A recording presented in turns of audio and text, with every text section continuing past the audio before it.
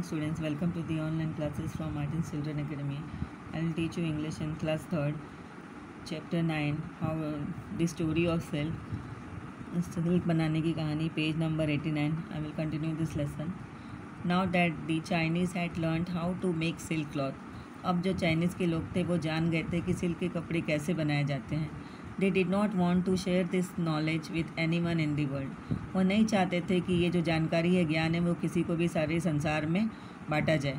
या बताया जाए। फॉर मैनी ईयर्स कई वर्षों तक all members of the Chinese royal family जो बड़े बड़े चाइनीज़ परिवार है, राजशाही परिवार है, बड़े घराने के, उन्होंने शपथ ली कि वो कभी ये रहस्य जो है, किसी को भी, किसी के भी सामने प्रकट होने नहीं देंगे।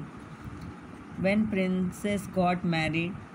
जब राजकुमारी की शादी हुई and went away to far off lands और वो दूर गई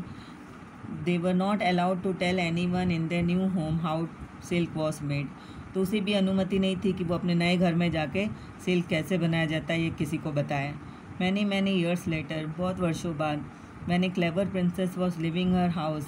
जब वो चतुर राजकुमारी अपना घर छोड़ रही थी ऑन गेटिंग मैरिड शादी होने के बाद एज जैसे कि रिवाज था और बैग्स व सर्च केयरफुली उसका जो बैग था, उसे सावधानीपूर्वक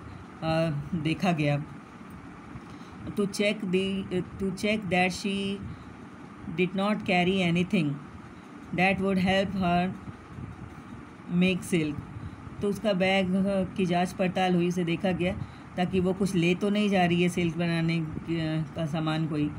This princess had been weaving silk from a young age और ये राजकुमारी थी अपने बचपन से ही सिल्क बनाने का काम कर रही थी and wanted to continue to do और वो ये काम आगे भी जारी रखना चाहती थी and do so wherever she went और मतलब जहाँ भी, भी वो जाए वो जारी रखना चाहती थी काम। She had hidden the cocoons in a long elaborate head और तो उसने क्या किया कि वो अपने ककून्स को अपने लंबे बालों में सावधानीपूर्वक ये हैडो मीन्स एक बाल बनाने की शैली है बाल बनाने की कला है अपने बालों में उसने छिपा लिया। No one thought of looking there और वहाँ तो किसी ने देखा ही नहीं वो कोई सोच भी नहीं सकता है कि वहाँ वो छिपाएगी। When she went to her husband house जब वो अपने पति के घर गई she took out this cocoons from her hair और उसने अपने बालों से ककून्स को निकाला and started gathering silk thread और सिल्क का धागा है वो इकट्ठा करने लगी।